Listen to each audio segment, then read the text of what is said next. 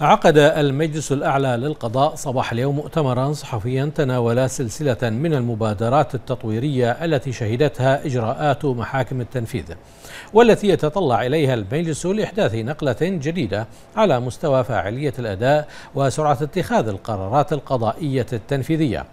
وتحدث في المؤتمر كل من القاضي محمد حسن البوعينين رئيس الإشراف القضائي والقاضي عيسى سامي المناعي قاضي محكمة التنفيذ عضو الإشراف القضائي. حيث أكد القاضي محمد حسن البوعينين إنجاز العديد من المبادرات لتسهيل الإجراءات منها إطلاق الخدمات الإلكترونية بالتعاون مع وزارة العدل والشؤون الإسلامية والأوقاف وهيئة المعلومات والحكومة الإلكترونية وكذلك تطبيق خطة شاملة لفرز ملفات التنفيذ وتوزيعها على مختلف المحاكم وصولا إلى إعادة تشكيل محاكم التنفيذ على أساس التخصص والمطالبات المالية الصغيرة بالعمل المشترك مع وزارة العدل وأيضا التعاون مع القطاع الخاص لإدارة المزادات مشيرا إلى إلغاء الإجازة القضائية بما يكفل استمرار عمل محاكم التنفيذ على مدار العام.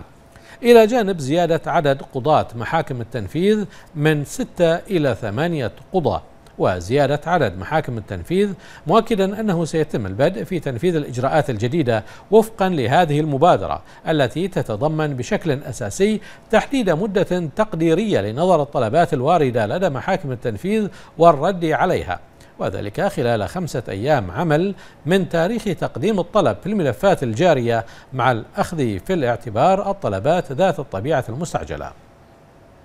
من جانبه قال القاضي عيسى المناعي إن الإجراءات الجديدة تتضمن وضع آلية لرفع التعاميم وإغلاق ملفات التنفيذ تلقائيا بعد التحقق من قيام المنفذ ضده بأداء التزاماته كاملة وذلك دون الحاجة إلى تقديم طلبات بهذا الشأن وفقا للآلية السابقة مضيفا أن عدد القرارات التي تتخذها محاكم التنفيذ بلغت بمعدل يومي 2200 قرار تقريبا.